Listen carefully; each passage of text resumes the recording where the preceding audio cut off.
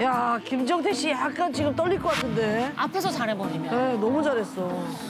예, 제가 선곡한 노래는 양수경 씨의 당신은 어디 있나요? 준비했습니다. 어 여자분 노래를. 응, 그러게. 최초의 여- 여성곡 선곡에. 조금 쉽게 생각했는데 만만치 않겠구나 이런 생각이 들었죠. 예.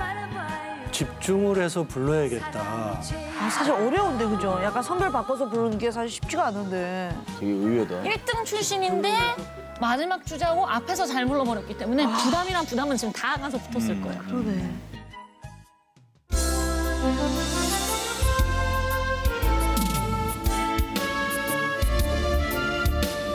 그래요 말을 해봐요 나는 알고 있어요. 어젯밤에 그 냄새가 무엇을 말하는지 그래요. 떠나갈게요. 당신이 원하신다면 한 번 가면 끝뿐이에요. 이대로 떠나겠어요.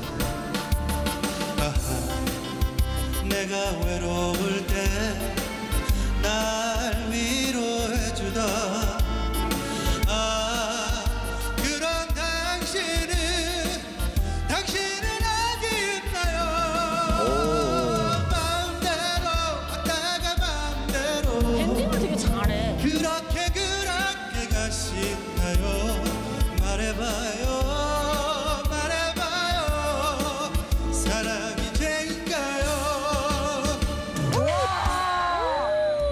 이야.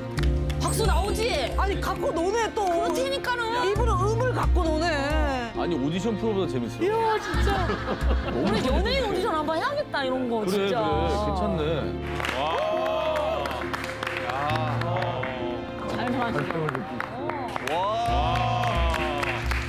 잘 들어가시네. 결승전 느낌 나는데. 급이 다르네.